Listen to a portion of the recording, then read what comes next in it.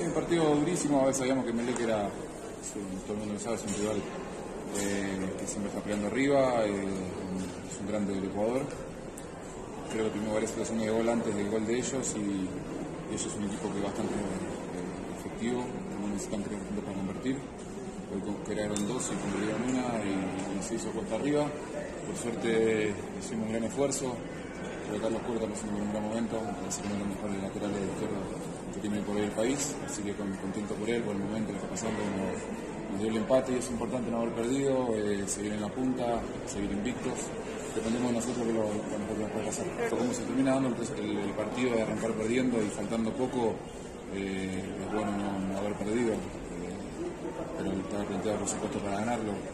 Creo que nosotros tuvimos más situaciones de gol, recuerdo una de Juan, una del Polaco en el final, pero bueno, creo que también atajó un gran partido Pedro, Ortiz, y, eso también es un pasaje bueno.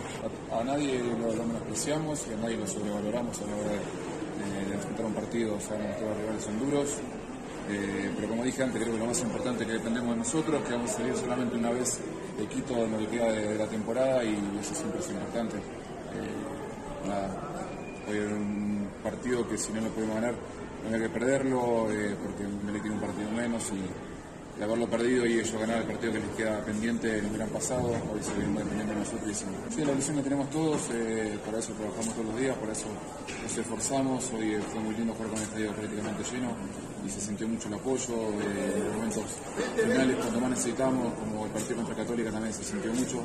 Así que, que muy contento y esperamos por supuesto la alegría final.